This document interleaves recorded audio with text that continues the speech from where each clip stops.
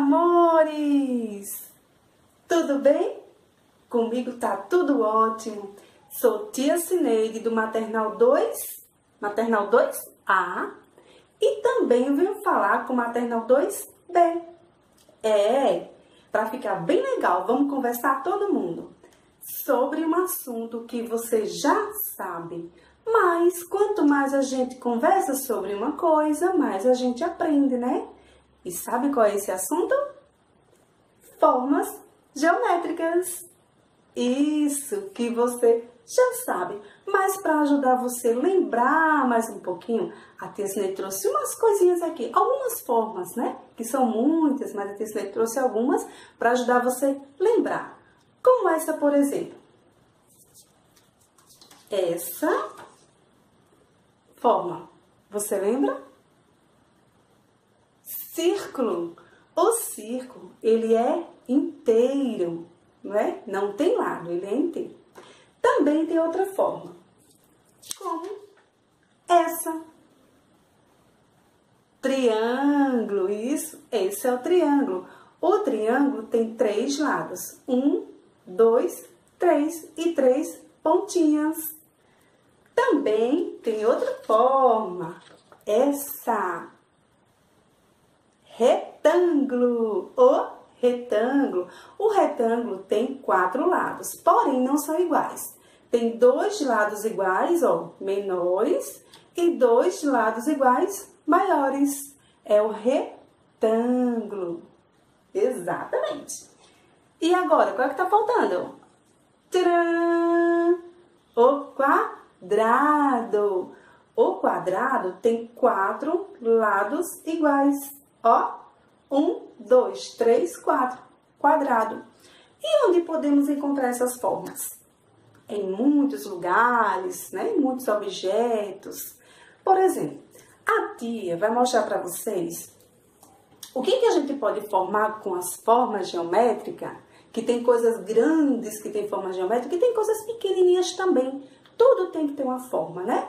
Então, a tia trouxe aqui para brincar um pouquinho com vocês, mostrar com vocês como é que a gente pode encontrar essas formas geométricas. Onde a gente pode encontrar? Ó, aqui tem um quadro em branco, né? Mas a tia vai deixar ele bem bonito com as formas.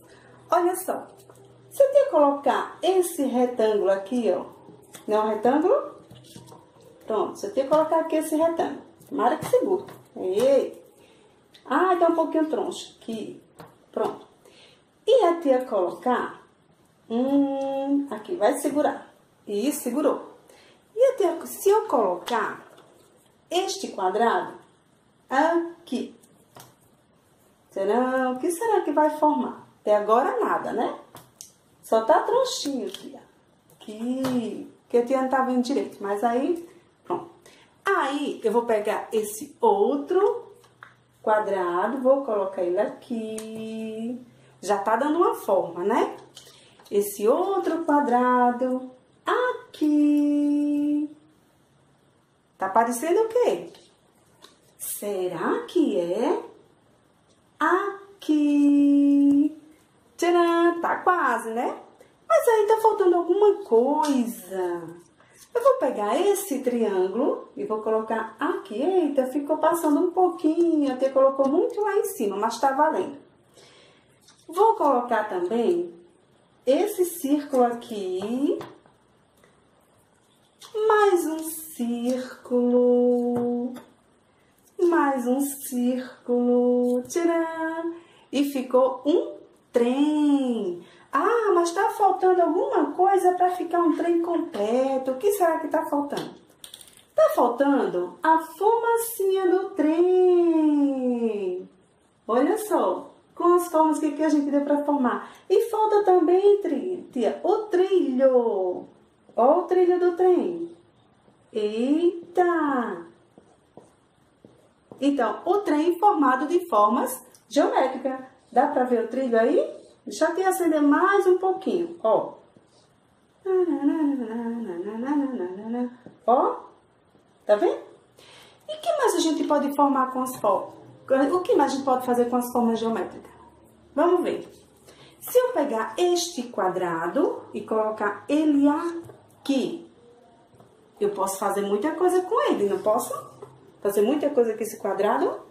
Mas eu quero fazer uma casa, então eu boto o triângulo em cima. Tô fazendo uma casa. Tá tronchinho, mas a tia consegue fazer com você. Aqui, uma casa. Era uma casa muito engraçada, não tinha teto, não tinha nada. E agora? Agora eu posso colocar esse círculo ali. Ficou uma casa e um sol. Mas tá faltando o quê? Tá faltando o raio, os raios do sol, que a tia já vai completar os raios do sol. Tá faltando, tia, alguma coisa a mais? Tá faltando? Ui, vai cair. A portinha da casa, que é um retângulo. E também a janela, não é? Ah, ficou meu tronchinho. Deixa eu te botar no meio. Isso. Agora tá melhor.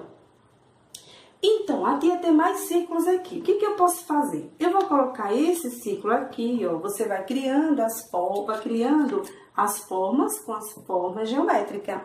Eu tenho um círculo, dois círculos, três círculos, todos na cor laranja. E eu juntei todos. Tá formando alguma coisa? Quase, né?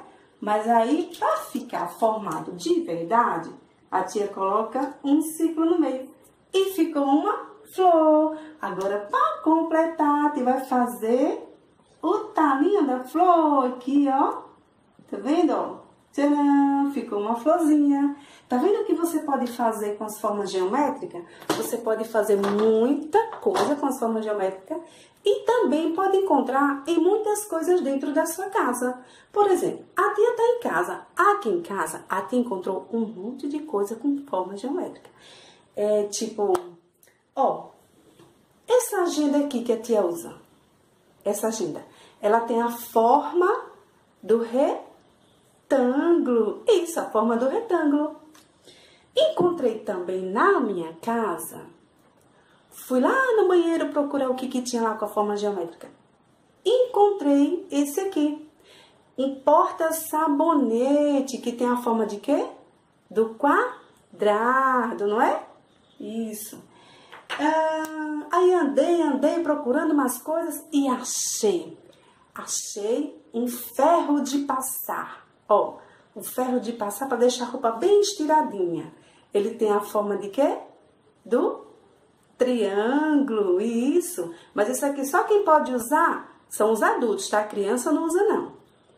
Também achei a caixinha de óculos da tia. Quando a tia faz assim, ela tem a forma do retângulo, mas quando a tia vira assim, ela tem a forma do triângulo, ela tem duas formas.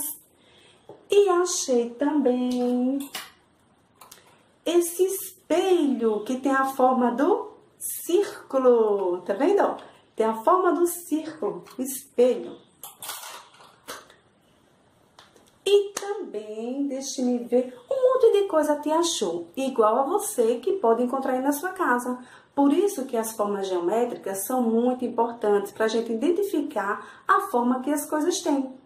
Então, você pode pedir para a mamãe, para o papai ou para quem puder lhe ajudar, cortar um monte de forma geométrica para você brincar de construir coisas com forma geométrica, igual a tia fez aqui, ó. Tá vendo? um trem, uma casa, um sol, uma flor e tem muito mais coisa que você pode fazer. Mas depois que você fizer essa tarefinha do livro, que é da página 30, que é falando das formas geométricas, tem duas carreirinhas. Uma carreirinha com forma geométrica colorida e outra carreirinha de forma geométrica sem cor. O que, que você vai fazer? Você vai pintar a que estão em branco, as que estão em branco, da mesma cor da que estão coloridas, tá bom? E deixar todas iguais. Aí depois você pode brincar com as formas geométricas. Ah, e também você pode procurar aí na sua casa, como a tia procurou aqui em casa, as coisas com as formas geométricas. Na sua casa tem ventilador? Então, ele tem a forma de quê? De um círculo, né? Sua TV, ela é quadrada ou é retângulo? A porta da sua casa é como? Hum, a sua mesa é quadrada, redonda, é em círculo? Ou é retângulo? Como é essa mesa? Os sofás, cadeiras, no seu quarto. O que, que tem no seu quarto que tem forma geométrica? Então vai lá e olha, depois você conta pra tia, tá bom? Ah, também tem uma coisa aqui que a tia achou que tem a forma geométrica. Esse aqui, ó, tem a forma de quê? De um círculo, é um chapéu de. Você tá ouvindo a musiquinha? Desde que a tia começou a falar que essa musiquinha passa, né, ó? porque estamos no mês de junino, mês de comemorar fogueira, comida típica, comida de milho, a tia ama pamonha, milho verde, milho assado, bolo de milho, a tia gosta de tudo de São João. Você gosta? Que pena que esse ano a gente vai comemorar em casa, mas dá para comemorar, não é? Então, ó. Ah, ah, ah, Beijo!